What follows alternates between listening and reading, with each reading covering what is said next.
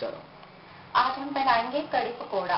कड़ी पकोड़े के लिए हमें चाहिए वन एंड हाफ़ कप बेसन वन टीस्पून साबुत धनिया, एक बड़ा प्याज बरीक कटा हुआ वन टीस्पून लाल कुटी मिर्च वन टीस्पून टर्मरिक पाउडर थोड़ी सी अजवैन और कसूरी मेथी टेन क्लोव गार्लिक पीसे हुए नमक स्वाद अनुसार। अब हम बेसन, अब हम पकोड़ों के लिए बेसन में पानी मिलाएँगे।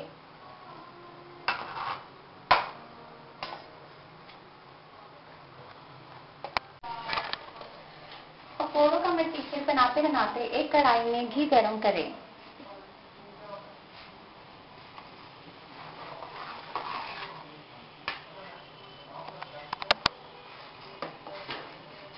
सुनियो। अब इसमें पिसा हुआ लहसुन डालें।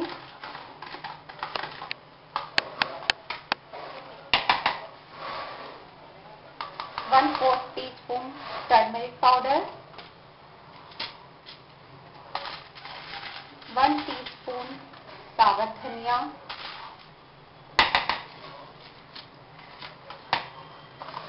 हाफ़ टी स्पून लाल मिर्च थोड़ी सी कसूरी मेथी और हाफ़ टी स्पून अजवैन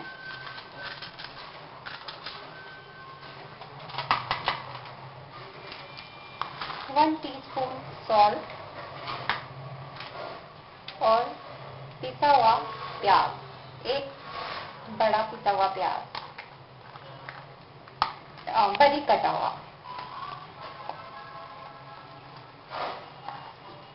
अब इन सबको मिक्स कर लें।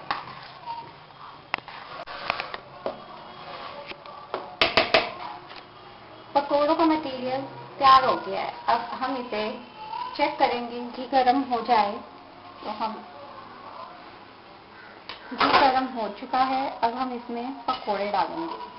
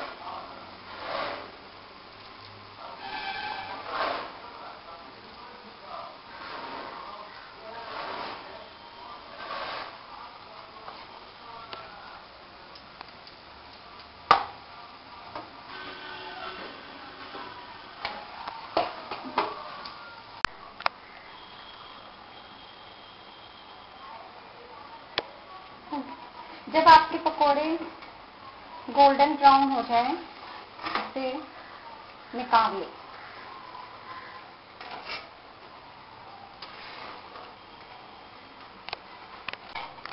पहले दो कटोरी दही लें।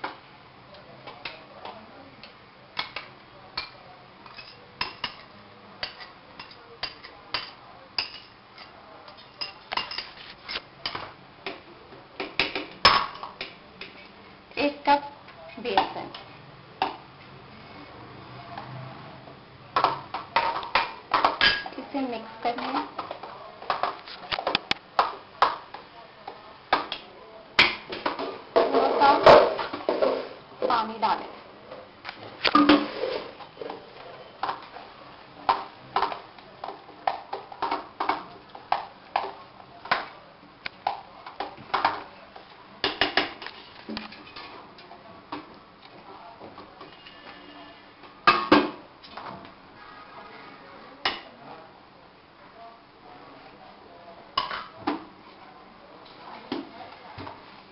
से मिक्सी में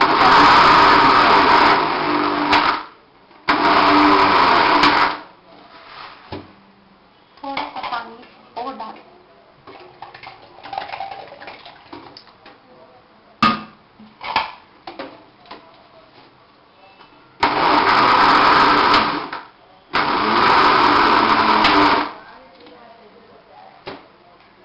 आपका बेसन का घोल। दही और बेसन। बनाने के लिए लें कुटी लाल मिर्च साबुत धनिया, जीरा, दालचीनी, मेथरे, हींग, हल्दी, धनिया पिसा हुआ, स्वाद अनुसार नमक, जिंजर पाउडर, आमचूर पाउडर, कड़ी पत्ता और साबुत लाल मिर्चे।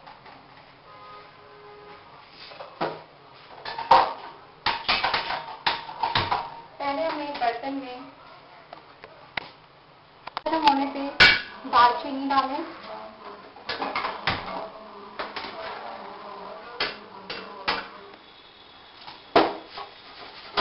वन फोर्थ स्पून जीरा।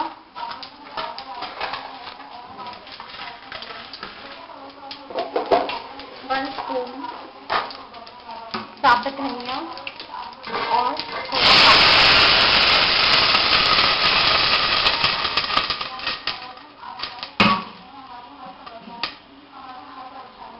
अब पानी में दें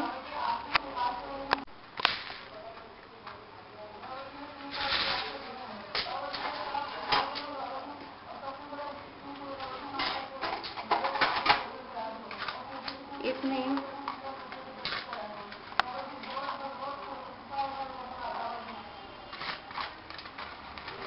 वन टीस्पून टर्मरिक पाउडर डालें।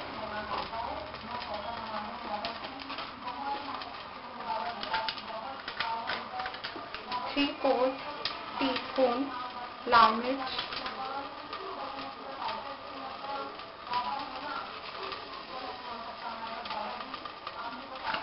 one fourth teaspoon ginger powder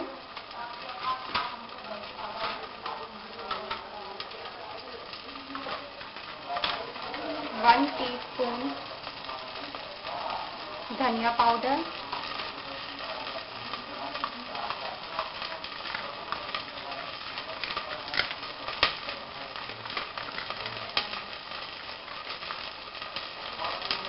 one teaspoon आमचूर पाउडर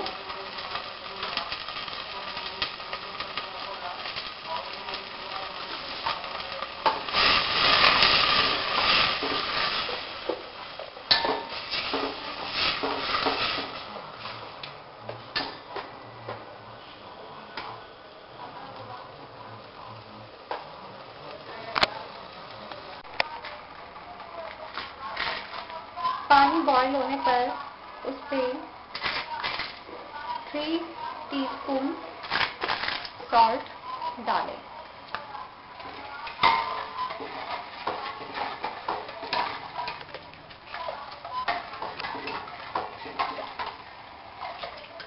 अब इसमें जो हमने बेसन और दही का घोल बनाया है, वो डाल के हिलाएँ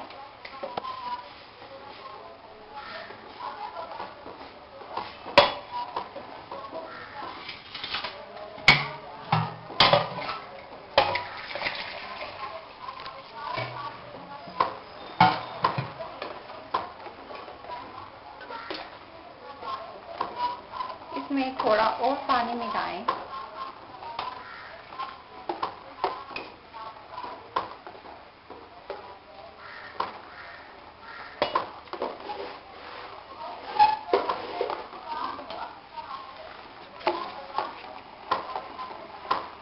और गैस सिम करके थोड़ी देर पकने दें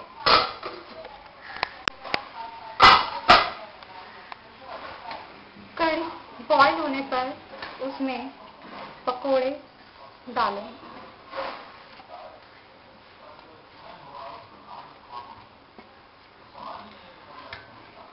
पकोड़े डा, डालने के बाद इसे फिर थोड़ी देर सिम पे बॉईल करने रखें।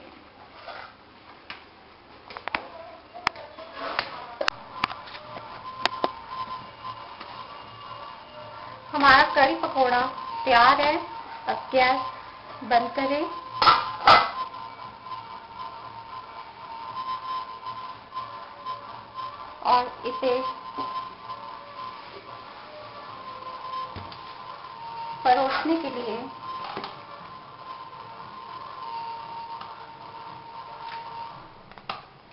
बाउल में डालें करी।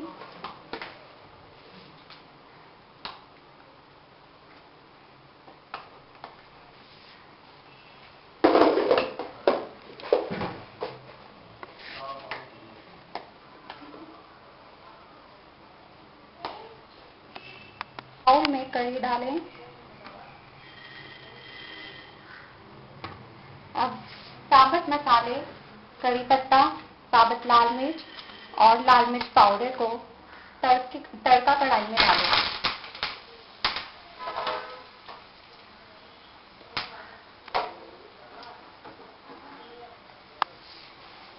फिर से कड़ी के ऊपर डालें